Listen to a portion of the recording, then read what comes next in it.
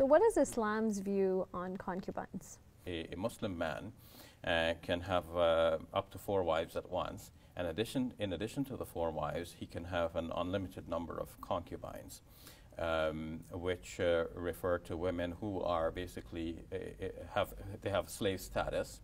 Uh, when they are owned by her master, a woman owned by her master.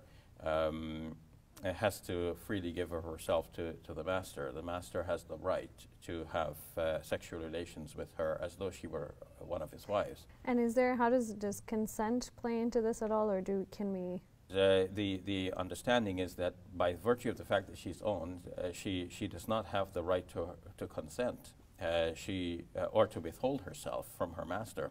Uh, the master has the full right over her, and her consent does not play anything in, in this uh, relationship.